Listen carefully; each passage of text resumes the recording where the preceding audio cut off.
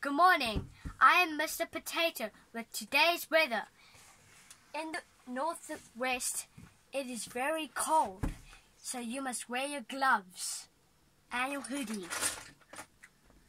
In the Free State, it is very sunny and the minimum is 20 degrees and the maximum is 30 degrees.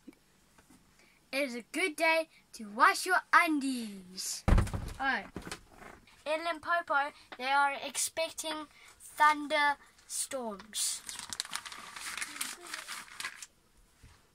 In Mpumalanga, it's very windy. Please give a like and a subscribe.